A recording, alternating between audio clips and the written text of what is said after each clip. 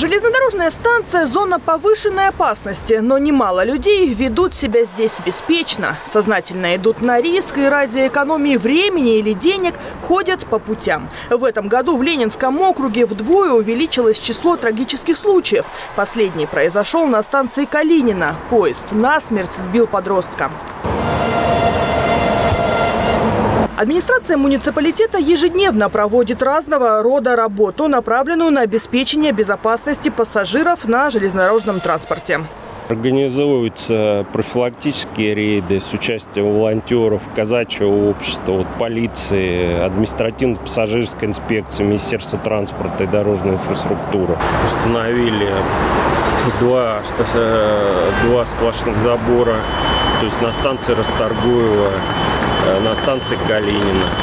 Э, было выявлено 6 э, несанкционированных троп.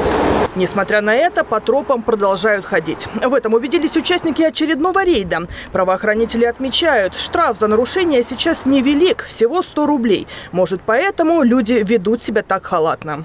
Базе данных это все отражается, потому что данного гражданина доставляется в дежурную часть, где все его данные заносятся в базу. Любое административное правонарушение в отношении граждан, которое составляется, естественно, она будет в дальнейшем жизни э, отражаться в определенных даже местах, которые сейчас требуются везде справки, при предъявлении каких-либо справок трудоустройств, это будет влиять на дальнейшее его, то есть э, жизненные обстоятельства.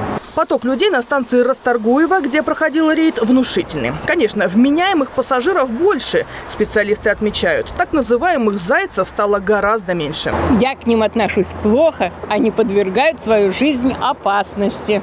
Ну, а вы вот какие-то беседы, может быть, с внуками проводите на эту тему? Провожу. Провожу, и мои внуки дисциплинированные. Профилактические рейды продолжатся, а с приходом нового учебного года даже участятся. Юлия Погосян, Сергей Ларин, Екатерина Давлятова. Видно этого.